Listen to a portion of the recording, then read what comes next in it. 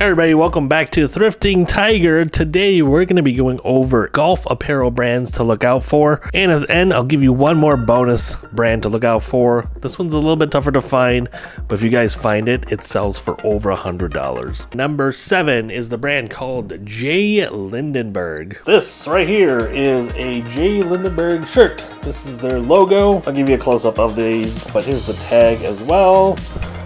Now with these golf polo shirts, you want to keep an eye out for any sort of embroideries on here. So this one actually says Pebble Beach Golf Links. Some of these patches or embroideries actually can add to the value depending on the golf course. If it just has some company logo, it's probably not going to add any value to it. But a lot of the golf polo shirts will have embroideries. So you want to make sure you check the sleeves on all of those because it can definitely lose value because of it. This one is a personal item, which is why I kept it and I wanted the Pebble Beach embroidery anyways. I've always wanted to go golf at Pebble Beach. Unfortunately, it's super expensive to golf there, but the polo shirt itself is kind of a cool design. I really liked it myself two tones of blue. And yeah, this is the logo you want to keep an eye out for. If you see it out in the wild, look it up. J. Lindenberg usually goes for about 20 to $30, and the sell-through rate is about 75% on these. But yeah, if you guys ever find it, it's a good brand to look out for. Some professional golfers actually wear J. Lindenberg as well. They are sponsored by them. But I would suggest picking them up. It's a great brand to look out for, J. Lindenberg. 20 to $30 is a resale value. Sometimes it can be higher, sometimes it can be lower,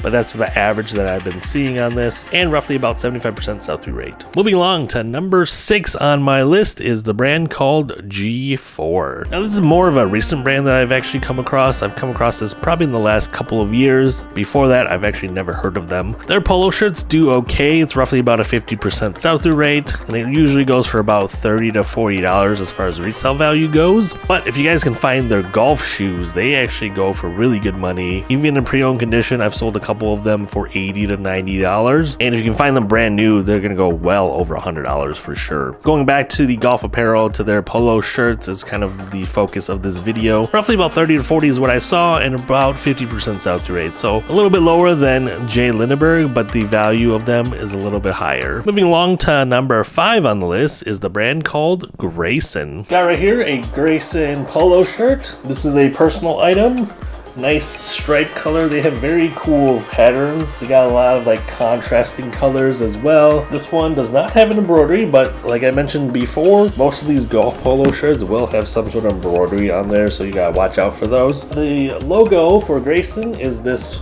wolf on the back. It's a gray wolf. I'll give you guys a close-up of this. And the material itself is like polyester. It feels really nice to wear. Just the overall nice, good quality polo shirt. Now, Greyson actually retails for quite a bit, but as far as resale value goes, it's roughly about 30 to $40 as well. And the sell-through rate is about 50%. So it's not the greatest, but it's also not the worst out there. I love picking them up. They usually sell pretty decently for me, but they also make different apparel as well. I've sold a couple of their jackets actually. It's like a puffer jacket that sold for $80. Some of their pullover quarter zips actually do really decently as well, roughly about 60 to 70 on those. So just overall a great brand to look out for. That was number five. Moving along to number four is a company called Bad Birdie. I've actually never found these in the wild, but they actually do really good. Typically you can get about 30 to $40 on these as well. Unfortunately, I don't have any of them to show you guys, but Bad Birdie makes pretty nice designs as well. Kind of a little bit louder. They make like floral patterns. They make solid colors as well. But it is a great brand to keep an eye out for. If you guys find them in the wild, uh, I'll show you some comps up on the screen. But like I said, roughly about 30 to $40 you can get for cheap pick them up for sure. Sales rate on the Bad Birdies is about 100%, so definitely something to keep an eye out for. It all depends on the pattern as well as far as the value goes.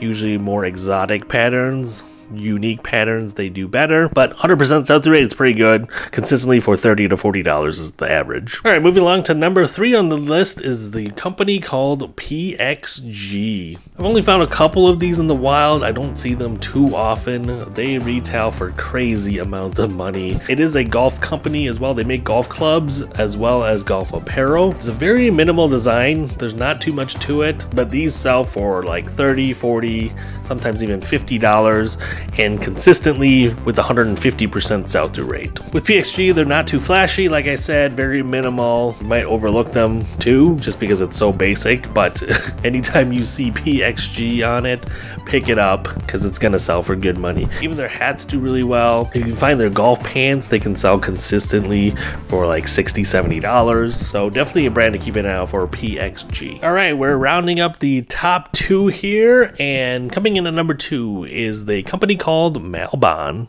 I've never found this out in the wild. I've only heard about them from reading some golf articles. Just recently, the pro pro golfer Jason Day just signed with Malbon as far as a sponsorship goes. He ended up leaving Nike for Malbon. They're more like a retro looking apparel company for golf, and you're probably not going to find them too often in the wild. Honestly, I don't ever, I've never seen them here in Minnesota, maybe more so in California you might see them. But with that being said, resale value on their golf polo shirts go for about 40 to $50 consistently with a 200% sell through rate. I'll flash some of their logos and shirts for you guys to see on the screen, but definitely a brand you want to keep an eye out for, Malbon. Some of their stuff retail price goes for well over $150, but also a very good brand to look out for as far as resale value goes. And coming down to number one on the list is the company called Rhoback. Now, Rhoback doesn't always sell for super high dollar amounts, but you can usually get about 35 to $50 consistently. If you guys ever find them in the wild, I suggest picking them up. The reason for that is that consistently getting 35 to $50 with a 400% sell through rate.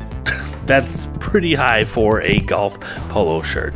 If you guys find like Nike and Adidas and Under Armour in the wild, probably get like 5 to $10 on those items with probably a 5 to 10% sell through rate on those. With Rhoback, 35 to $50, 400%. Definitely highly recommend you picking these up. Some distinguishing factors for Rhoback. Here's the tag. The logo is this dog. And on the back, you'll see the stripe right down the middle, the stripe here. That's how you can really easily identify a Rhoback polo shirt. I've only found this one in the wild and it was at the Goodwill grand opening. ended up paying up for it and I ended up keeping it for myself instead. It's a nice polo shirt feels really nice. It is made in South Korea, and just overall, it's a nice polo shirt. Cute little dog logo. Definitely, if you guys find those in the wild, look it up, pick it up.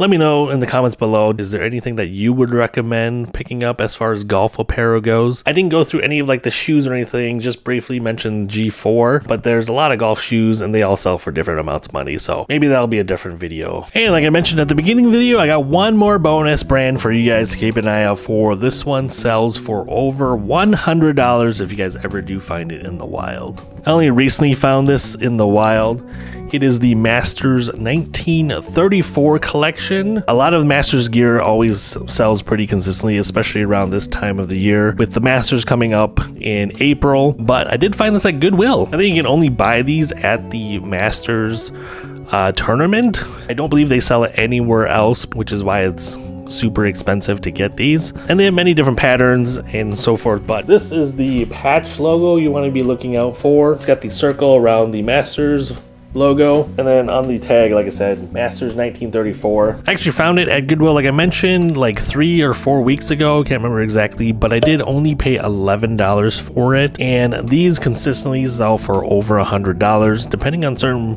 styles. They could go for 150 Some of them go for even higher. If you can find a brand new one, you could probably get $200 for a polo shirt, which is crazy. Anything master stuff could sell pretty consistently, but if you find the 1934 collection, make sure you pick it up for sure. The sell-through rate on these is about 150%. If you can get them in green like I have here, they could probably sell for more. They make many different colors, but especially green masters that those two combinations usually will equal pretty good money. But those are the eight brand for you guys to keep an eye out for as far as golf polo shirts go. Are there any brands that I missed? Is there anything that you particularly pick up? Anything that you guys recommend? Please leave a comment down below. I'm always learning. I'm always discovering new brands out there, especially for golf apparel. I love picking up golf stuff. Some of you guys might mention FootJoy. They make a lot of different types of apparel. Like they make shoes, they make jackets, they make polo shirts, they make pants. Their polo shirts don't do that well actually. Probably can get like 15 maybe for those. It's probably similar to a TravisMathew where it's kind of oversaturated now on eBay. But their shoes actually, some depending on styles, actually can do pretty decently. In this video, I am specifically kind of focusing on the polo shirts because we see them all over thrift stores. There's a lot of them out there. A lot of brands you want to just avoid, and a lot of brands that you might want to actually do some research and take take a look at. Let me know in the comments below which one was your favorite. That is everything that I've got for you guys. Hopefully this was informative for you guys. Hopefully you guys enjoyed the video. If you did, make sure you hit the like button, subscribe for more thrifting content like this, and I will see you all in the next one. Bye.